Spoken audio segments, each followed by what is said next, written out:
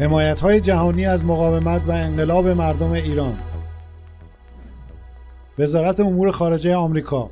یک سخنگوی وزارت خارجه در بیانیه‌ای که روز جمعه در اختیار بخش فارسی صدای آمریکا گذاشت بازداشت کیوان صمیمی روزنامه نگار را نشان از ترس جمهوری اسلامی از مردم خود دانست. به گفته او مقامات ایرانی با دستگیری کیوان صمیمی بار دیگر نشان دادند که چقدر از مردم ایران میترسند و از حقیقت وحشت دارند. استرون استیونسون عضو سابق پارلمان اروپا. اتحادیه اروپا و بریتانیا باید سیاست مماشات خود را با ملاها کنار بگذارند و تحریم را تقویت کنند. سفرا را فرا خوانند و از مردم ایران که خواستار تغییر رژیم هستند حمایت آشکار نشان دهند. جهان متمدن باید علیه رژیم زهراگین ایران متحد شود. ودانت پتل معاون سخنگوی وزارت خارجه آمریکا. ما بار دیگر از ایران می‌خواهیم که به شیوه منفور خود در حبس ناعادلانه اتباع خارجی برای استفاده به عنوان اهرم سیاسی دست بردارد.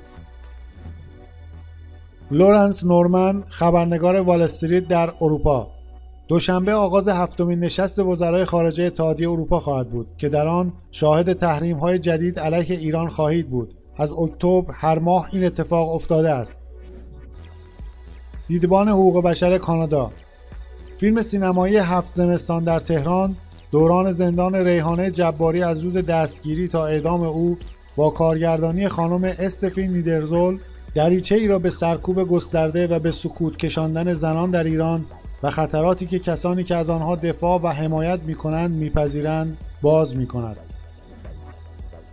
اتحاد سرمایه گذاران به رهبری مونترال برای حقوق بشر در ایران شهروندان مونترال در رأس یک اتحاد بین‌المللی متشکل از 131 سرمایه گذار هستند که از جامعه تجاری و به طور خاص از شرکت‌های فعال در بخش فناوری اطلاعات و ارتباطات می‌خواهند که مسئولیت احترام به حقوق بشر در تعاملات خود با ایران را بر عهده بگیرند. کشوری که در پی در گذشت دلخراش محسا امینی همچنان با موج اعتراضات دست به گریبان است.